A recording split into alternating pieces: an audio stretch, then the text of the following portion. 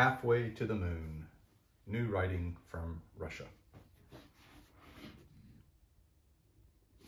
Now, new writing, uh, yes, but this book came out in 1964, so it's new writing in 1964.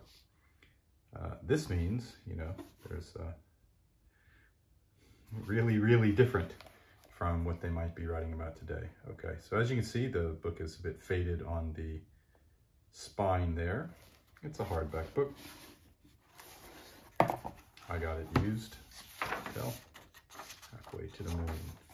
So it's edited by Patricia Blake and Max Hayward. It's got an interesting introduction where they sort of talk about Stalinism and what happened during Stalinism and the kinds of writers who came out of that uh, period.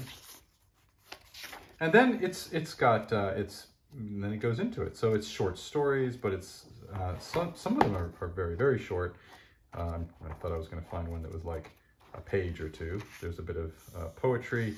I'm always dubious of poetry that is translated. Um, you can, of course, get the, the themes but it's pretty hard to get the, you know, the beauty, the way that the, the language sounds. But mostly it's poetry. I mean, sorry, mostly it's short stories. Mostly it's short stories is what I meant to say. There is some poetry. And again, even the poetry, although you're not getting what might be considered the essence of poetry, which is to say the, the way that it sounds, the way the uh, yeah, the way that it sounds. It can still evoke emotions and it can, it's, it's interesting uh, to the extent that it's beautiful, that's the translator's job, I think, because they can't capture what the original, well, anyway, I'm going on about poetry and my ideas of translation. That's, um, that's not essential here. It's interesting, some of the writing here, and it's interesting to put it in the context of when it came out. I haven't I haven't read all of this, um, and yeah, what what I've read of it, I would call interesting more than none of it's sticking with me as a uh, you know, like wow, that's a story I'm going to remember for a long time. It's um, it's more a feeling of of interest in what they were what they were saying at that time. Okay. In any case, I don't know if this is still available outside in the world. We've all heard of Solzhenitsyn. Let's have a look at the table of contents so you can see what's kind of in here. We start out with some poetry.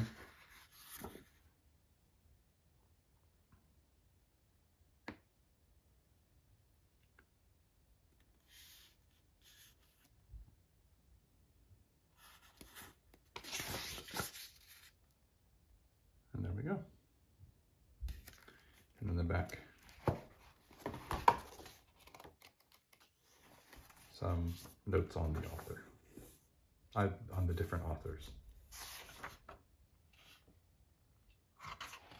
I haven't looked up to see what they've done since this, like, well,